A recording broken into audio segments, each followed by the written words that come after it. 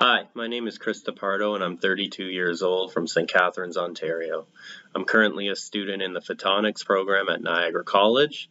Uh, due to COVID-19, we weren't able to attend classes, but thanks to NSF ATE, Dr. Celeste Carter, LASER-TEC, and Professor Simonescu, we were uh, able to get these kits and uh, do our lab assignments at home the kids helped us uh, helped us a lot because we were able to actually take the theory we were learning and apply them to something. And because of this it's made class this semester that much easier. So thank you very much